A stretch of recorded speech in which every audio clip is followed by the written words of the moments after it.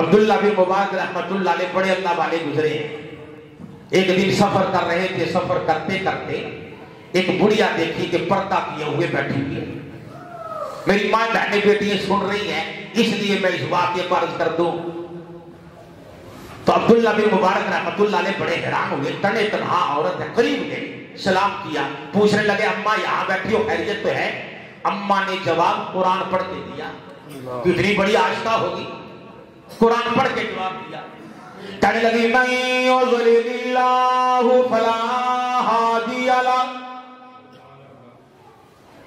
जिसको अल्लाह भुला दे, उसे रास्ता दिखाने वाला कोई है ही नहीं। समझ गए? आम मौलवी ना था, मेरे जैसा नहीं। बहुत बड़ा फकीर, बहुत बड़ा मुहद्दिस था। कौन समझ गए अम्मा रास्ता भूली हुई है? फरमाने लगे, अम्मा, कहाँ से चली, कहाँ जाना है? अम्मा ने जवाब फिर कुरान पढ़ के दिया। कहने लगी सुबहान अल्लज़ी असरा बिअब्दिही लैलन मिनल मस्जिदिल हरामी इलल मस्जिदिल अक़सा। समझ गए मस्जिद हराम से चली है और मस्जिद बोल रही है। मस्जिद थक गए ना? नहीं। आप बोल रहे थक गए? बोलो तो सही। मस्जिद हराम से अक्सा की तरफ़ जा रहे। फरमाने लगे, अम्मा, यहाँ बैठे बैठे कितने दिन गुजर गए? अम्मा ने फिर कुरान पढ़ा। फिर कुरान पढ़ के जवाब दिया। कहने लगी सबिया तीन दिन तीन रातें गुजर गई, यहाँ बैठे बैठे। अम्मा, खाती कहाँ से हो? पीती कहाँ से हो? अम्मा ने फिर कुरान पढ़ के जवाब दिया। कहने लगी वल्लदी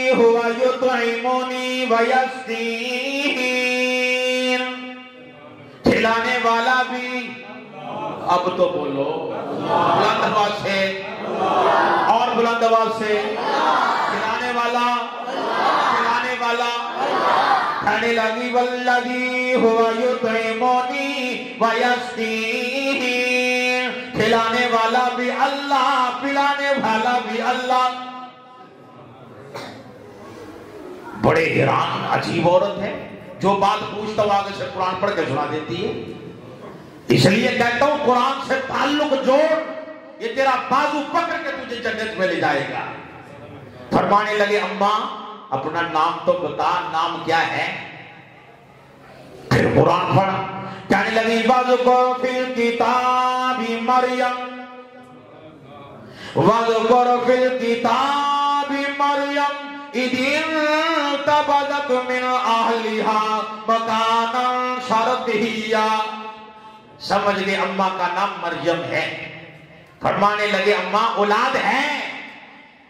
फिर कुरान पढ़ दिया। कहने लगी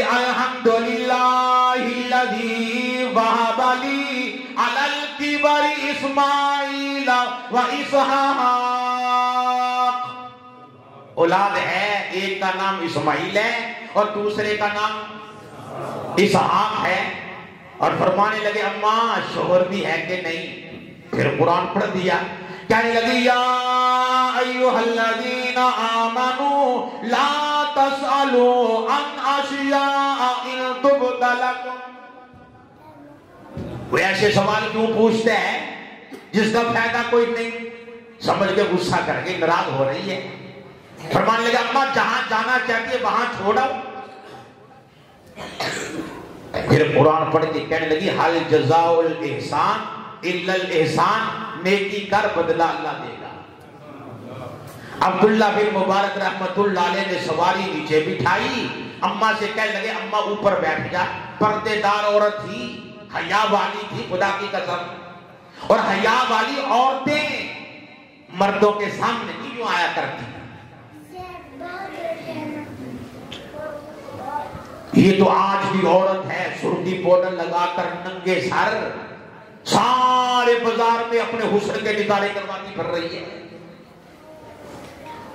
और हाजी नमाजियों की घरवाली बेटियाँ,